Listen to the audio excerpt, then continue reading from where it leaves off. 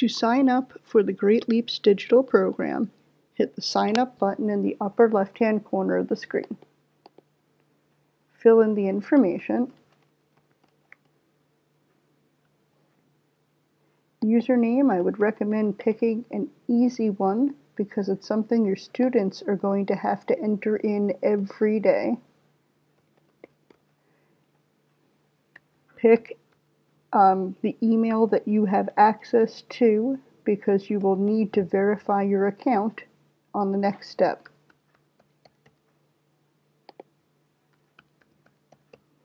Password and the rest of your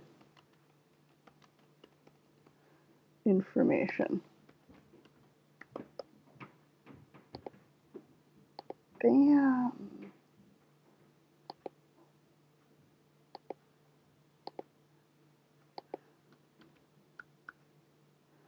Phone number.